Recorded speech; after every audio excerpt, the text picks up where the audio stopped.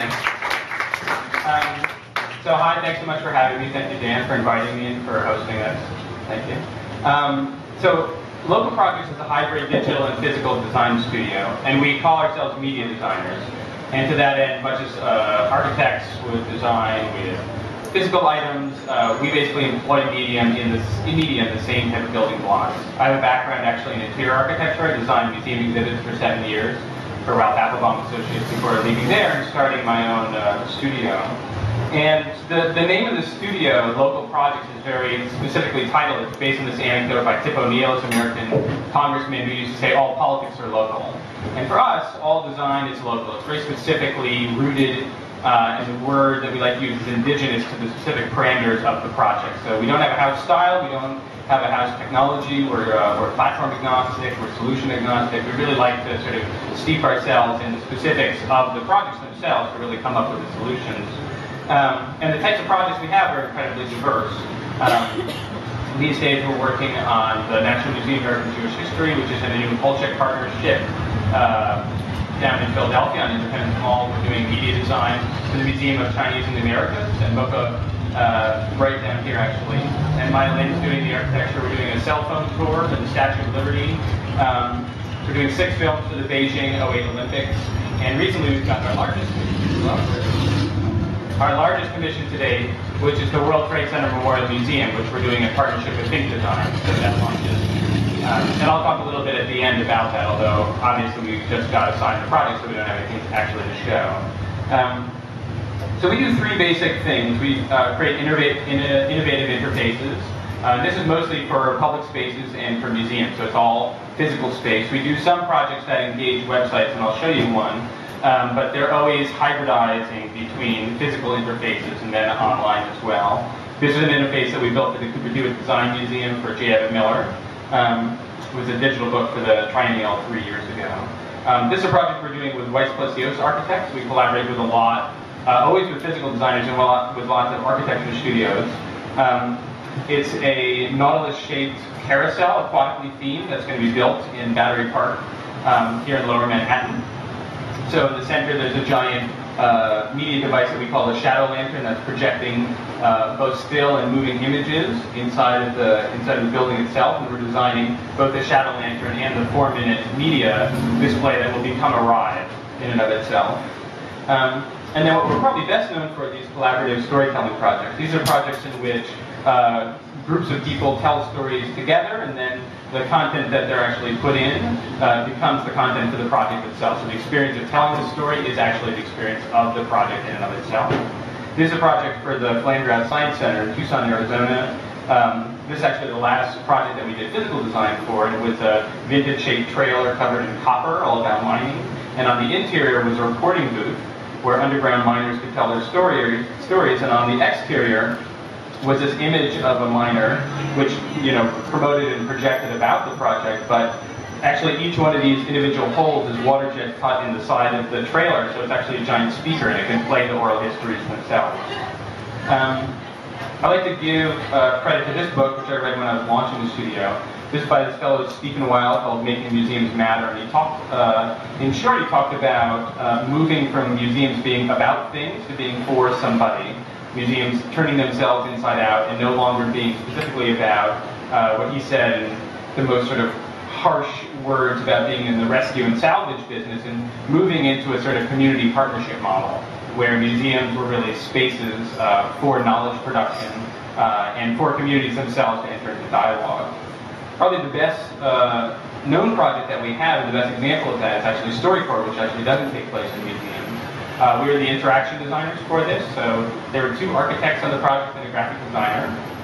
Um, and it, it, was really the, the brainchild of Dave Isay, who uh, used to run Sound Portraits and now is uh, president and founder of StoryCorps. Um, and it's an oral histories project of America, and it's creating uh, this national archive of stories, one interview at a time. So we have this is our flagship booth at Grand Central Station, and you go to the booth with a relative or a neighbor. Uh, you interview them for 45 minutes. You leave with a CD of the experience, and then a copy of the CD goes into the Library of Congress. So it's a way to actually build this giant uh, national uh, narrative database, you know, one interaction at a time. Um, we designed these listening stations that sit outside of the booth, and actually, much like the Miners Project, you get the sense that the, the booth is sort of self-representational, right? On the inside, there's the, the recording studio. You go in there, it's very simple to point there and say, you tell your story there, and then the stories get edited, they get broadcast, in this case on listening stations. But then they also go online, they go into compilation CDs, and then also on NPR, they get broadcast every Friday morning. Um, we created these uh, motion graphics to explain the project, it was actually, uh, at the time, quite a difficult project for people to wrap their heads around.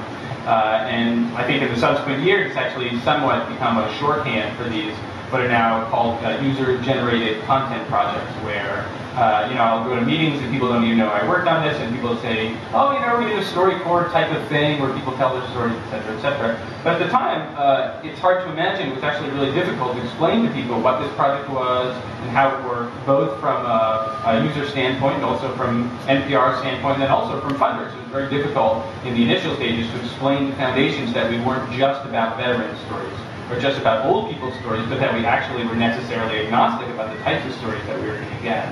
Um, I'm going to take a break and, and, play three excerpts from stories uh, that are well known from StoryCorps.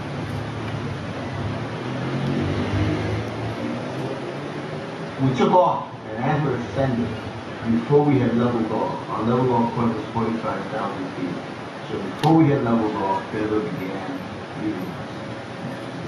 The beauty about it I believe there's something after life. You can see it in there.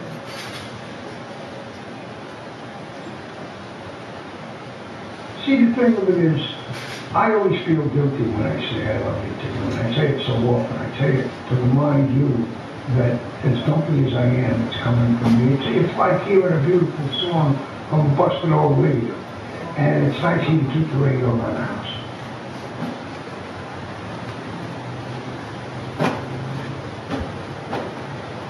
the house. So this is the ring that my father gave to my mother when he was there. Um, and he saved up and he purchased this and he proposed to my mother with it. And so I thought that I would give it to you so that he could be with us for this also.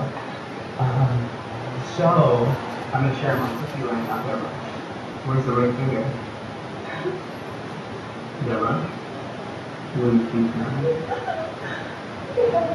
Of course. I love you. So quick. This is how your mother and I got married in a booth in Grand Central Station uh, with my father's ring. My grandfather was a cab driver for 40 years. Used to pick people up here every day. So it seems right.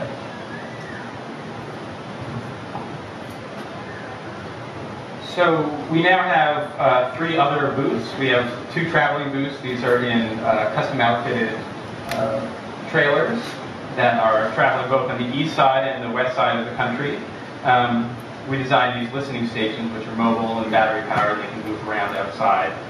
We also have a booth uh, that was located at the World Trade Center. It's actually being moved just north of there because the construction is getting very intense. Um, but StoryCorps has a, has a specific partnership with the World Trade Center Memorial Museum and has made a commitment to create one oral history per victim. So that's 2,979 oral histories, and I think they've already gathered over 500. Um, these are the listening stations that we created for that booth. And it's interesting to note that um, that to date, this is the only piece of physical architecture actually on the site itself that interprets 9/11. Uh, there's the Tribute Center, which is just adjacent to the site, and there's a, a photo exhibition up top. But when this was launched, uh, Governor Pataki came and he cut the ribbon. Uh, it was really, uh, it was literally an unprecedented event. Nobody had actually gotten a green light to do something interpretive about 9/11 on the site. And uh, I mean, this isn't the official, you know, StoryCorps line, but my interpretation is that there's something about the shapes of these projects, in particular StoryCorps, uh, that allows for uh, a broadcasting of message and for placement of message that is difficult under other circumstances. Meaning, if you put a typical you know, curator-driven, message-driven museum on the site, and ironically enough, now that's what I'm actually doing, but uh,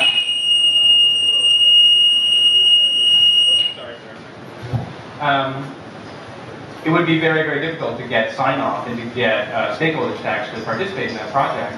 Um, and so there was a way in which uh, StoryCorps, as uh, in a certain way a subversive project where it's just gathering together tons and tons of stories, and those stories are self-representation.